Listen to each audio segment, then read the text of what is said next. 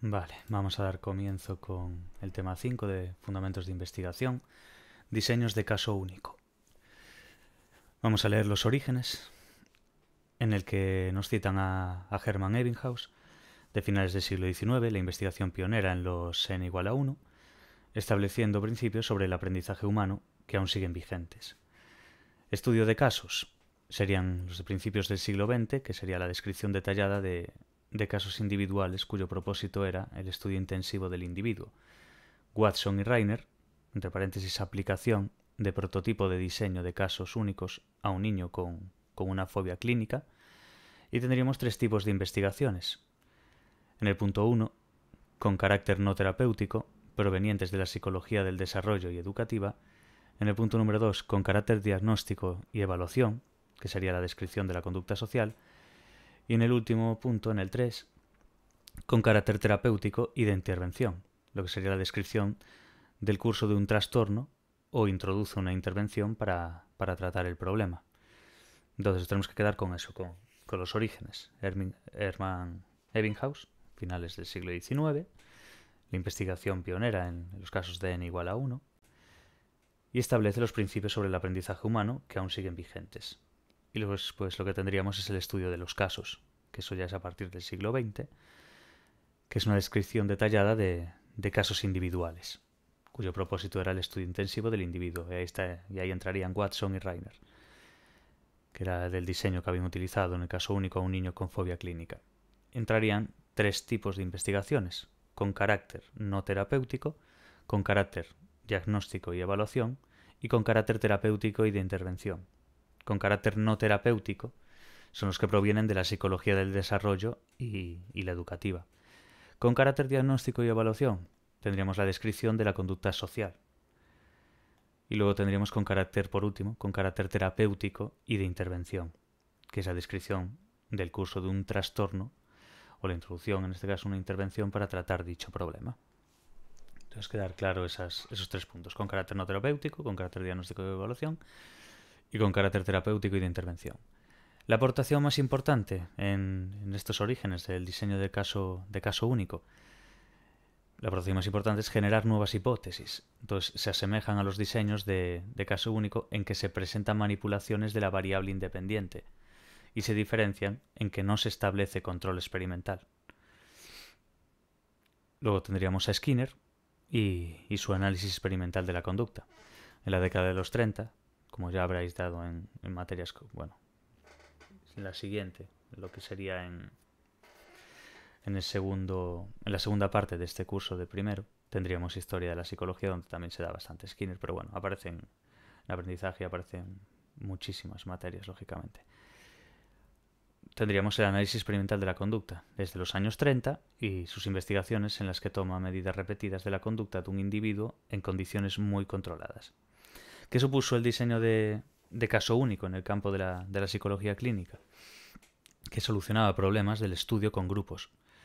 Entre ellos, en el punto 1, encontraríamos una muestra de sujetos suficiente con las mismas características o problemas clínicos. En el punto 2, problemas éticos en utilización de grupos no tratados o tratados con placebo. Y en el punto 3, la utilización de datos promediados que pueden oscurecer la respuesta individual al tratamiento. Entonces, lo que la aparición de estos diseños de caso único, escritos desde ahí atrás, desde Hermione, de Ebbinghaus y demás, y del análisis experimental de Skinner, todo ese punto de, de origen, supuso el diseño de, de este tipo de, de, casos, el diseño de caso único, es el, del título de, este tema, en el que o el aspecto que más destaca en el, en el campo donde se donde se está utilizando en este caso de la psicología clínica. Y lo que hacía era solucionar los problemas de, bueno, lo que hacía y hace, solucionaba los problemas del estudio con grupos. Y ahí vemos los puntos más importantes. Encontrar una muestra de sujeto suficiente con las mismas características o problemas clínicos. Luego los problemas éticos en utilización de grupos no tratados o tratados con placebo. Y sobre todo la, la utilización de datos promediados que pudo oscurecer la, la respuesta individual al tratamiento. Estos serían los orígenes del diseño de, de caso único, así en resumidas cuentas. Entonces es muy importante recordarse Hermann Ebbinghaus como, como el que estableció un principio sobre el aprendizaje humano que aún sigue vigente.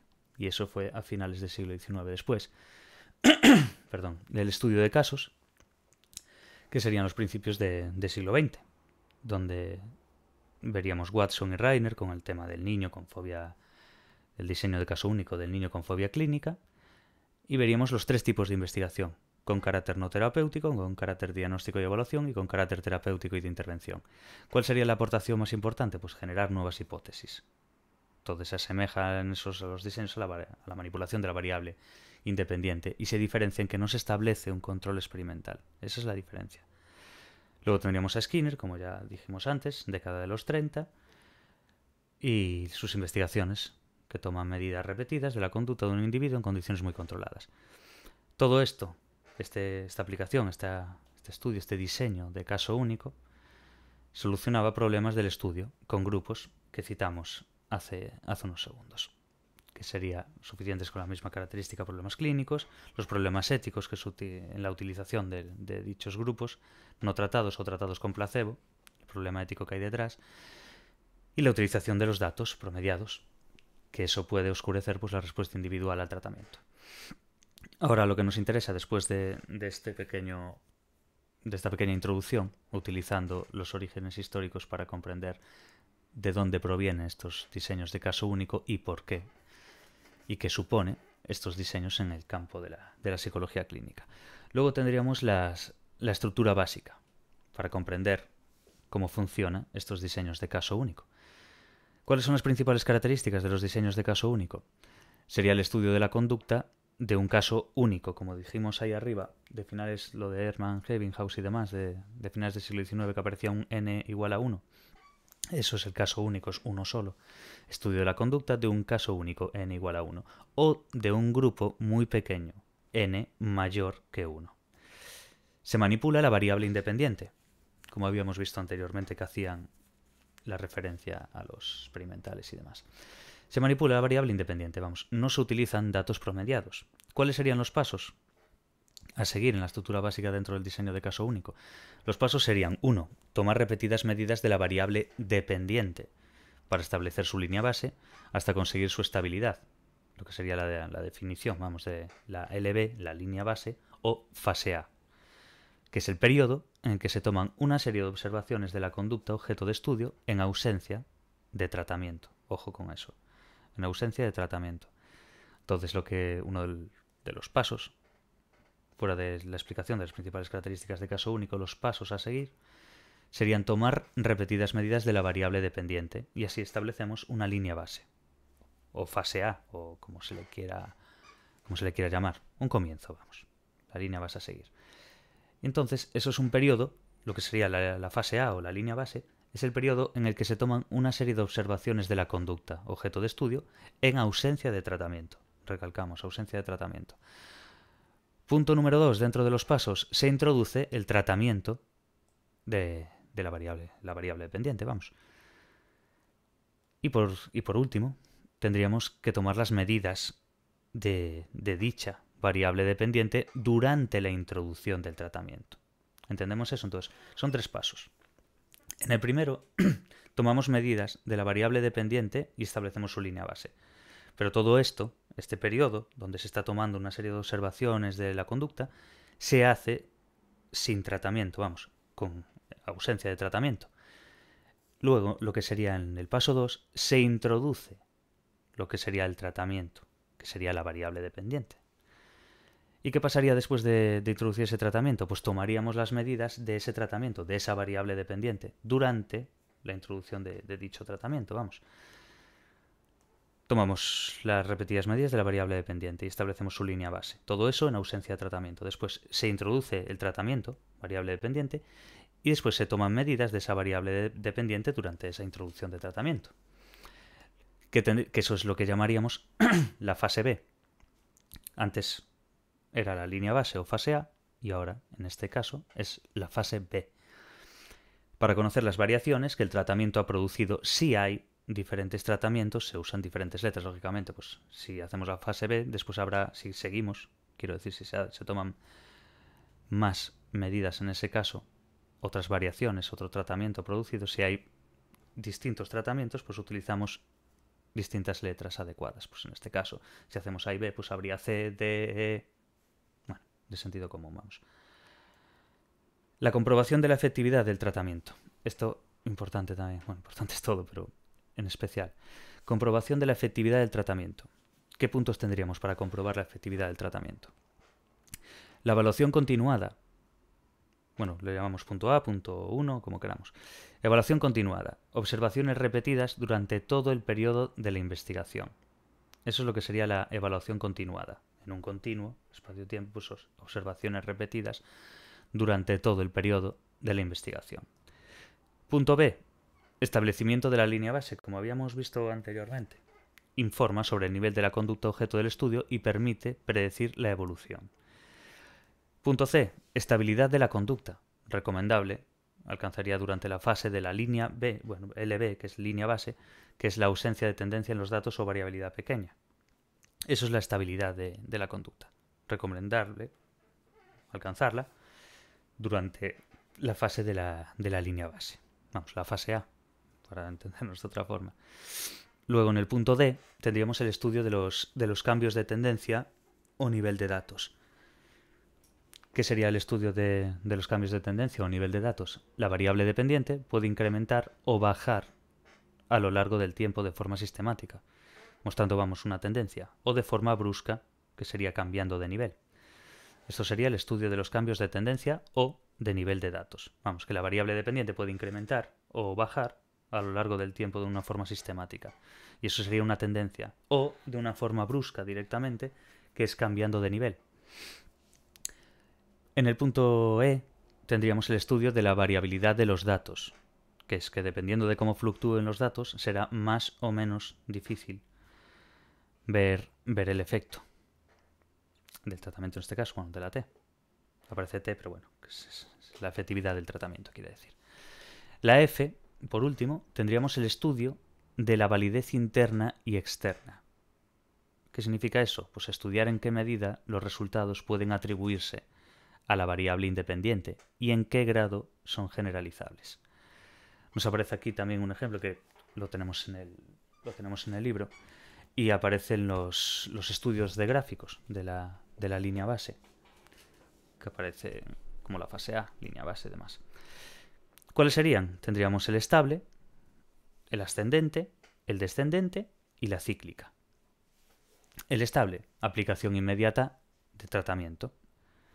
Ascendente o descendente, dependiendo de, dependiendo de, cómo, de cómo sea. Introducción del tratamiento si se espera que éste produzca un cambio de dirección en la tendencia. Y por último la cíclica, que es aumentar número de observaciones hasta alcanzar la estabilidad.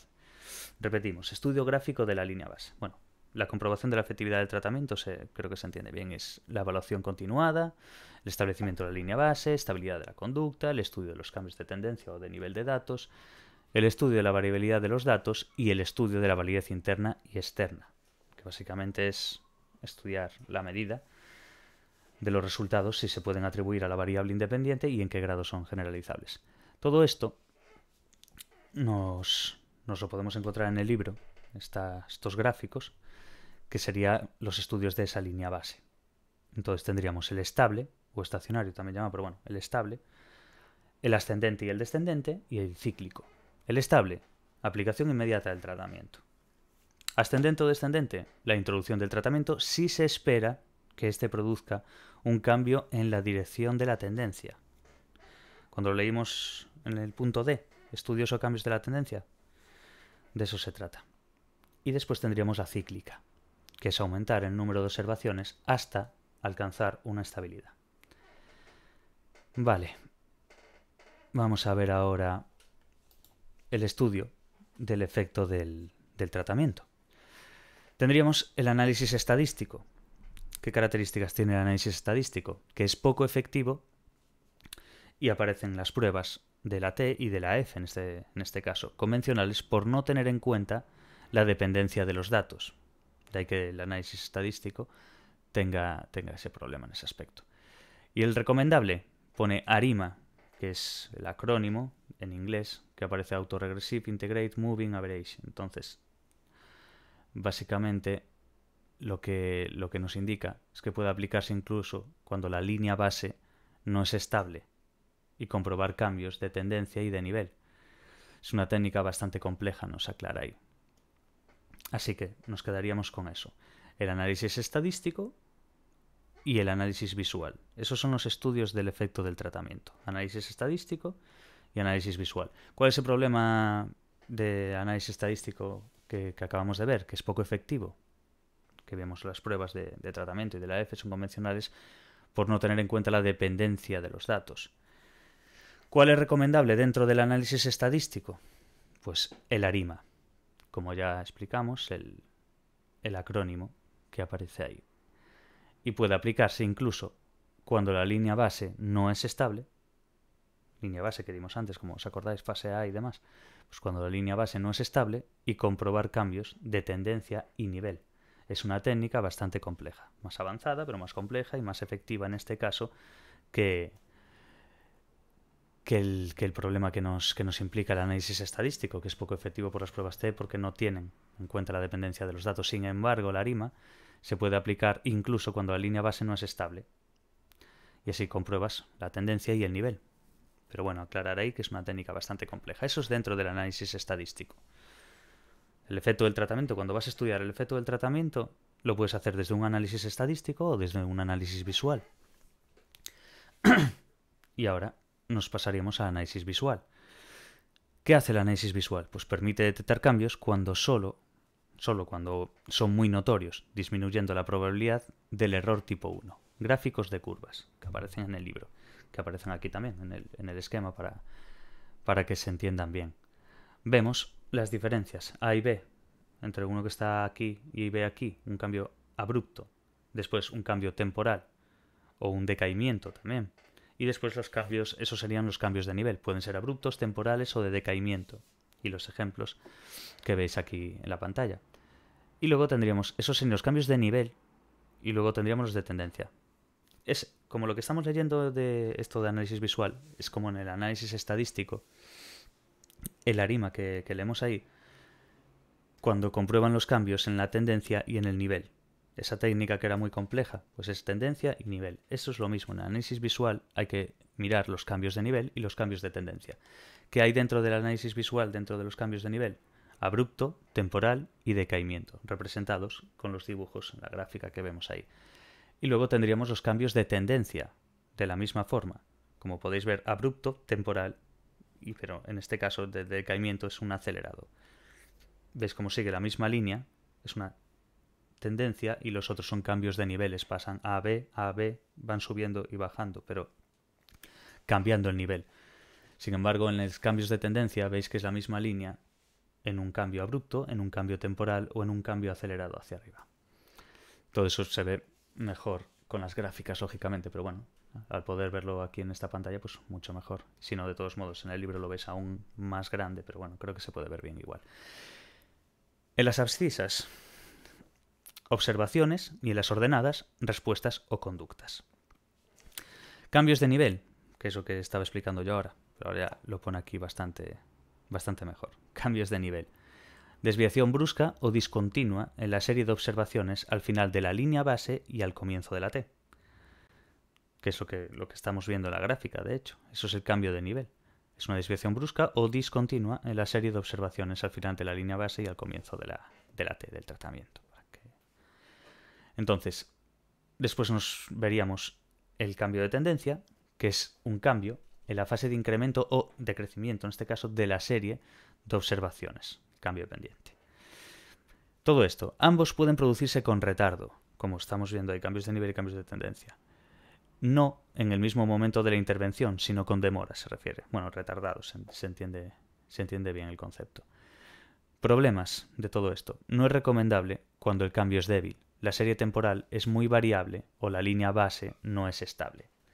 Esos serían los problemas dentro del estudio del efecto del tratamiento en el análisis visual. Tanto en el visual como en el estadístico cumplen esos problemas. Si los cambios son débiles o la serie temporal es muy variable o la línea base no es estable, no es recomendable esa utilización. Estos modelos ahora que vamos, que vamos a ver ahora. También modelo básico, el AB, Son dos fases, A y B, para entenderse así. La A es medir la variable dependiente con repetidas observaciones sin tratamiento, como vimos ahí arriba. Pero ahora entenderlo bien con el modelo básico. Modelo básico AB. Dos fases, A y B. En la primera, en la A, medimos la variable dependiente con repetidas observaciones, pero sin tratamiento. Eso es lo importante, sin tratamiento de primeras. Y en la B, una vez que ya está establecida esa línea base, esa fase A o como se le quiera llamar o interpretar, se introduce el tratamiento, la T, y se sigue midiendo. ¿Cuál es el problema de esto? Que vamos a. que esto es importante saberlo, no solamente es saber el concepto del modelo básico de AB y saber que en el A mide esa variable dependiente sin tratamiento y que después en el B introduces el tratamiento y sigues midiendo. Lo importante de estas cosas también es saber el problema que, que trae, porque todo modelo no es perfecto. Entonces, si tú haces un modelo AB en este caso, va a traer unas amenazas. A veces es a la historia, a veces a la validez interna, a veces a la externa. Entonces hay que saber diferenciar bien los tipos de diseño y a su vez las amenazas que puedan generar ese uso de, dicho diseño. Entonces, la, amenaza que, contiene este modelo básico sería una amenaza a la validez interna. Lo que sería, en este caso, nos lo, nos lo explica, que ya están explicados en otros temas, así que no vamos a volver a repetir cada uno de ellos lo que significa, porque ya son de, atrás, serían las amenazas a la validez interna, que serían historia, maduración y reactividad experimental. Esas serían las amenazas a la validez interna dentro del modelo básico AB de caso único. Sé que es un poco así lioso, pero tienes que ir esquematizando tú. Eso que, a ver, no, no es del todo complicado el modelo básico, precisamente por eso, porque es un modelo muy básico, pero no, Después vais a ver más cómo hay un diseño AB y ABA y demás. Y después ABAB y después BAB. Cada uno va. Entonces lo que hay que tener claro es eso. Desde un principio, modelo básico A y B. A mides la variable dependiente, unas repetidas observaciones, pero sin el tratamiento. Y lo que sería el B, una vez que esté establecida esa fase A, esa línea base, como se quiera llamar, se introduce el tratamiento y se sigue midiendo. ¿Qué trae esto consigo, este modelo básico AB? Una serie de amenazas a la validez interna. ¿Cuáles serían? Historia, maduración y reactividad experimental. Te pueden preguntar eso teóricamente, amenazas a la validez interna del modelo básico AB o derivarlo en un texto y tú saber interpretarlo. Y decir, vale, pues es historia, es maduración. O no, no puede ser historia porque este tipo de modelo no puede tener historia en amenaza a la validez interna. Entonces se trata un poco de eso. Vale, eh, reversión, ahora. ¿Qué es reversión? Que aparece aquí en el cuadro. Retirada del tratamiento. Trae una serie de problemas éticos, una imposibilidad del uso del tratamiento es irreversible y requieren demasiadas sesiones. Ese es uno de los problemas de, de la reversión. Del modelo, vamos. Entonces, esa retirada de tratamiento trae unos problemas éticos, una imposibilidad de uso del tratamiento cuando es irreversible o que requiere demasiadas sesiones. La cosa, dentro de reversión, ¿qué diseños hay? diseño ABA y la extensión del diseño de ABA. Así que vamos a ver el diseño ABA. Como vimos, el básico AB, pero le mete otra A ahí. Entonces vamos a ver qué, es eso. Es como el modelo básico, es lo que, es lo que estábamos diciendo, pero con una fase más en la que retiramos el tratamiento. Vimos que desde un principio no había tratamiento, después lo metemos, sí, pero es que después lo quieren retirar para ver. Ahora se, se sabrá por qué. Pero con una fase más en la que retiremos el tratamiento. Se puede llegar a la conclusión de que el tratamiento es el causante de los cambios en la variable dependiente cuando después de medir la línea B, la, la línea base o la fase A, se introduce el tratamiento, fase B, y se produce un cambio en la medida de esa variable dependiente al retirar posteriormente el tratamiento se produciría otro cambio en la variable dependiente. Entonces, lo que nos renta de esto es que tú puedes sacar una conclusión de que el tratamiento es el causante de esos cambios en la variable dependiente. Porque con el A y B tienes, tienes esa, esa dicotomía, pero después, si al meter otra A, en ese caso, perdón, otra fase dentro de ese diseño, ya puedes llegar a una, bueno, en este caso se puede llegar a una conclusión de que el tratamiento es el causante de los cambios en la variable dependiente, porque estás midiendo el A del principio y el A del final. Eso es, eso es lo interesante de esto. ¿Cuáles son las ventajas de, de esto? un control de la historia, la maduración y la reactividad experimental, si os dais cuenta, son las amenazas a la validez interna del modelo básico AB. Las amenazas a la validez interna, historia, maduración, reactividad experimental, en el diseño ABA hay una serie de ventajas, que es el control de las amenazas a la validez interna del modelo básico AB. Quizás un poquito lioso, pero si lo vais mirando poquito a poco se entiende bien. Las ventajas sería eso, el control precisamente de las amenazas del modelo básico AB. De ahí que se, que se haga un diseño más amplio de ese modelo básico, porque parte del modelo básico es del modelo básico AB. Pero al meter la otra A, ya sabes o puedes llegar a una conclusión de que el tratamiento es el causante de esos cambios en la variable dependiente. Entonces las ventajas, esas amenazas anteriormente citadas en el modelo básico AB, se convierten en ventajas. Porque están aprovechándose eso, claro. Control de la historia, maduración y reactividad experimental. Es de gran utilidad en la investigación básica. ¿Cuáles serían los inconvenientes? Porque lógicamente los tiene. Son los problemas éticos, lo que leímos debajo de reversión en el cuadro. Los problemas éticos planteados por la retirada del tratamiento. Porque tú imagínate jugar así, A, B, A, pero justo cuando va a empezar a, a funcionar o lo que sea, cogen y lo retiran. Entonces, a ver, eso trae un problema ético detrás. Pero bueno, por eso aparece así problemas éticos planteados por la retirada del tratamiento. Por eso no es frecuente su aplicación en un ámbito clínico. Imagínate que empieza a funcionar cierto tratamiento, pero lo suprimes porque quieres demostrar eso. Pero claro, todas esas personas y demás, pacientes o como se les quiera, como se les quiera citar, trae un problema ético detrás, lógicamente. Pero bueno, por eso no es frecuente utilizarlo en un ámbito clínico. Eso es reversión, lo que estamos dando ahora, reversión, la retirada del tratamiento, que trae una serie de problemas éticos, imposibilidad y demás. O cuando el tratamiento, pues por ejemplo, ahí en este caso, cuando el tratamiento es irreversible. O cuando se requieren demasiadas sesiones y no tienes a la gente durante X tiempo.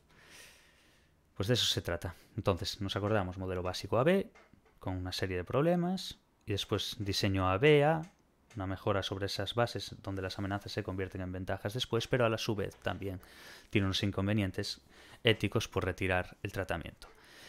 Otro diseño dentro de la reversión es una extensión del diseño del ABA, que acabamos de ver ahora mismo. Pues diseño que vamos a ver ahora es AB, AB. Entonces, modelo básico AB, siguiente diseño, ABA, siguiente diseño, una extensión de ese AB, AB. ¿Qué le pasa al diseño AB-AB? Pues la inferencia causal se realiza en la tercera fase. Si se retira el tratamiento, la conducta debería volver a la fase inicial. Ese es el rollo. Entonces, es muy usado en el ámbito de la investigación de la modificación de la conducta. Y luego tendríamos el diseño BAB, que si os dais cuenta no tiene el comienzo de la A Entonces, la necesidad de estudio, cuando el tratamiento ya está en marcha. Ya es ya no, no se ha hecho un comienzo de A, donde, donde vayamos a medir esa variable dependiente sin utilizar el tratamiento, sino que ya empezamos, la necesidad del estudio es cuando el tratamiento ya está en marcha. A ver, todo esto lo vais deduciendo bien. Simplemente el ver que falta una A, o que sobra, o que tal, pero bueno, está bien mirarlo igualmente así, aunque lo haga así más, más lento. No se parte de una fase inicial de la línea base, ya que carece de la letra A para realizar inferencias causales es más aconsejable el, anterior, lógicamente, porque requieres de esa inferencia causal para que el diseño sea más viable en ese caso. Si quieres hacer inferencias causales, claro. Eso sería la reversión. Pues si hay una reversión, habrá una no reversión. ¿Qué es una no reversión? Una no retirada del tratamiento. No se retira el tratamiento ahí. ¿Y qué hay dentro de la no reversión? Pues hay un diseño de cambio de criterio y un diseño de línea base múltiple. Sé que cuestan algunos conceptos de estos a, la hora de pensarlos, pero es machacar, machacar, machacar. No solamente, no de una forma de chapatoria, sino de entenderlo un poco. Es entenderlo un poco. Lo que pasa es que son tantos esquemas y tantos índices y subíndices dentro de, de varios diseños que te haces un poco poco el lío, pero se va, se va sacando. Entonces, no reversión. Repetimos. Modelo básico AB. Después, reversión. Dentro de la reversión, ABA. y después una extensión de ese diseño, que es ABAB o BAB en ese caso. Y luego entraríamos en la no reversión. ¿Qué sería la no reversión? ¿Qué diseños hay? De la misma forma que antes había los diseños ABA y todo esto. Vale. Los diseños que, que hay dentro de la no reversión, dentro de la no retirada del tratamiento, está el diseño de cambio de criterio y el diseño de línea base múltiple. Múltiple. Ya lo, ya lo veremos ahora. Diseño de cambio de criterio. ¿Cuáles serían los pasos a seguir dentro del, del diseño de cambio de criterios? Pues después de la línea base se introduce un tratamiento, bueno, un refuerzo en este caso, hasta conseguir alcanzar un criterio preestablecido, lo que sería el B1, y lograr la estabilidad.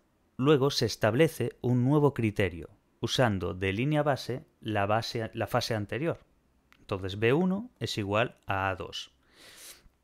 Aplicando el tratamiento hasta llegar a un nuevo nivel, B2. Entonces, el efecto de, este diseño se comprueba en la medida en que el cambio de criterio va seguido del correspondiente cambio en la conducta. ¿Cuáles serían las ventajas de, este tipo de diseños? Pues lógicamente que no se requiere retirada de, tratamiento, es una no reversión, una no retirada de, tratamiento. Entonces la ventaja es que no se requiere la retirada del tratamiento. Se recibe tratamiento solo a partir de un breve, de una breve línea base. Entonces permite inferir sin ambigüedad la eficacia del tratamiento. Muy importante eso. ¿Cuáles son los requisitos para que este diseño funcione? Bueno, para que, para que sea un diseño de cambio de criterio dentro de la no reversión. Que la variable dependiente debe variar simultáneamente con los cambios de criterio, como estamos viendo en esos cambios de B1 a 2. Los cambios producidos, en este caso, deben ser lo suficientemente amplios para distinguirlos de la mera variabilidad de la conducta. Vale. Bueno, en el CC hay, es cambio de criterio. Producido por los cambios de criterio deben ser lo suficiente, pero bueno, eso es, lo veis perfectamente. Ser lo suficientemente amplios para distinguirlos de la, la mera variabilidad de la conducta. Y por último, dentro de, los, dentro de la no reversión, repetimos, de la no retirada del tratamiento, existen los diseños de cambio de criterio que acabamos de citar ahora y los diseños de línea base múltiple. ¿Qué significa esto de la línea base múltiple o cuáles son los pasos a seguir dentro de este diseño? Se registra la línea base de varias conductas susceptibles de ser modificadas con el mismo tratamiento y se aplica secuencialmente a cada una de ellas. De múltiple, como veis ahí, diseño de línea base, línea base, en plan registramos la línea base de varias conductas que van a ser modificadas con el mismo tratamiento. Eso es de lo que se trata. Entonces es una aplicación secuencial de, cada una de ellas. Entonces registramos la línea base, que vayan a ser susceptibles de modificación con, de, tratamiento, con, con el mismo tratamiento, y se aplica secuencialmente a cada una de ellas. Se considera que ha tenido efecto cuando el tratamiento provoca cambios en la conducta tratada mientras las otras permanecen relativamente estables, fuera de que haya pequeñas subidas o bajadas, pero que sea estable. Entonces, sabemos que tiene un efecto cuando el tratamiento provoca cambios en la conducta tratada, porque las otras van a permanecer relativamente estables. Entonces, esos cambios que vemos en las otras ya nos hacen inferir que hay un efecto. Entonces, cuando el tratamiento provoca esos cambios en la conducta, pasa eso. ¿Cuáles son los requisitos de, la conducta? Pues uno, independencia. No deben ser covariantes. Dos, sensibles a las mismas variables es complicado encontrar conductas que cumplan los dos requisitos. Entonces hay tres variantes, A, B y C, que son diseños de LBM, línea base múltiple, entre conductas, diseños de línea base entre situaciones y diseños de línea base múltiple entre sujetos. Conductas, situaciones, sujetos. ¿Cuáles serían dentro de las conductas? El tratamiento se aplica a conductas de un mismo sujeto, y en el diseño de línea base múltiple de, situaciones se, aplica el tratamiento a misma conducta, mismo sujeto, pero en situaciones diferentes. Entonces, entre conductas, el tratamiento se aplica a conductas de un mismo sujeto. Ahí fácil. En situaciones un poco más complejo, entonces se aplica tratamiento a una misma conducta y a un mismo sujeto, como arriba, como el de las conductas, pero en situaciones diferentes, de ahí que se llame entre situaciones. Y luego entre sujetos. ¿Qué haría lo de entre sujetos? Pues aplica el tratamiento a la misma conducta de varios sujetos con las mismas condiciones ambientales. Y esto sería básicamente el, tema 5 de el tema 5 del libro, diseños de caso único. Es una forma resumida, pero es un resumen completo, la verdad.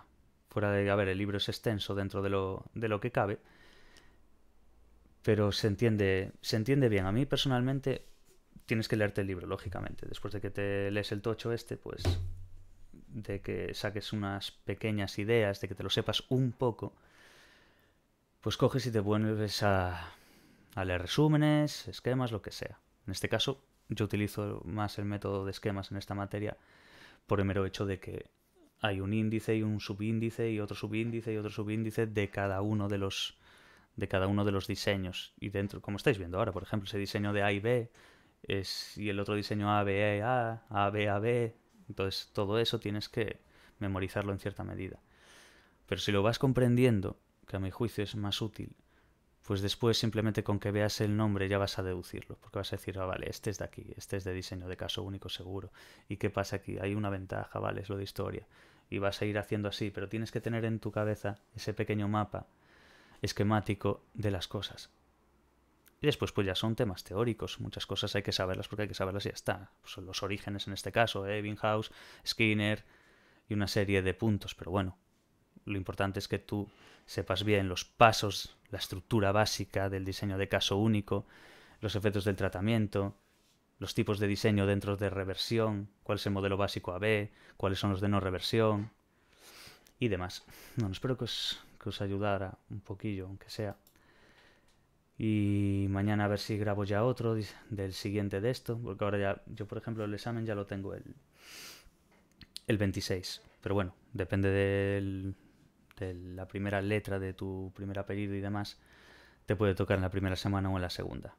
Yo en esta primera semana solamente tengo un examen y después ya tengo los siguientes en la, en la segunda. Entonces intentaré subir esto, intentaré subir todo lo que pueda lo más rápido posible. Pero bueno, mientras estudia es un poco complicado hacer vídeos a la vez. Aunque sean sobre esta temática y me sirva a mí también, lógicamente, pero bueno, no se estudia igual que, que explicando un poquito algún vídeo o algo. En este caso simplemente son lecturas. Aquí no, no llego a meter yo mucho, mucha baza como en ejercicios de psicobiología o demás, que ya los tengo ya, ya subidos en Patreon y demás. Pero bueno, espero que os haya ayudado un poquillo. Y, y si alguien por algún casual necesita algo de esto, lo tengo ya subido también en Patreon. Y si alguno quiere algo en particular de alguna cosa, pues no me importa mandársela por correo o lo que sea. Así que hasta la, hasta la próxima.